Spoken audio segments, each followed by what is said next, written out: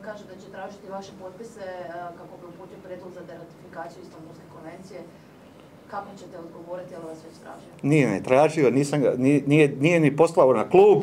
To što će doći Marijan Pavličak ovdje kao jedini, jedan od saborskih zastupnika i to opet na tuđoj listi, doći ovdje i spaliti uh, uh, strelicu. Uh, kad dođe to u klub domovinskog pokreta, evo mi ćemo vas izvijestiti šta smo to napravili, smo potpisali, nismo potpisali. Ali u kampanji ste tvrdili da je jedan od, jedan od vaših glavnih ciljeva, je- sjećam se prije izbora, jedan od glavnih ciljeva domovinskog pokreta je bilo navedeno i ta deratifikacija Istanbulske. Evo sada, kako je Pavličak iznio, um, odbor je, odnosno uh, stav vlade je bio da se ne ide, da se ne prihvati njihov prijedlog, da se ide, mislim, kolokvijalno na, na, nazovem- nazovemo to deratifikacijom, ali uh, hoćete li vi glasovati onda, ako ste se zalagali da se to...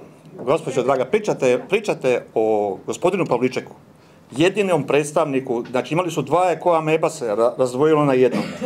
Da vi stavite bilo koju proceduru, u saborsku proceduru, bilo koji zakon, morate imati 31 potpis. E, Gospodin Pavliček ne može pet pot- potpisa a, sakupiti, a rekao sam, odgovorit ću vam na to kad dobijemo to da vidimo što on to traži i zašto traži. Mi to jesmo komunicirali u kampanji, razgovaralo se to i na koalicijskim sastancima prije sastavljanja vlade, ali mislim da vas je predsjednik Penava izvještavao što je se komuniciralo, što je se pregovaralo, što su bili mogućnosti da se dogovori sa naših 14 zastupnika, što je bilo mogućnost da se dogovori. Ali kajem ovo za gospodina Pavličeka, nemam na stvarno namjeru čovjeka komentirati, jer je neozbiljno je to sve jako.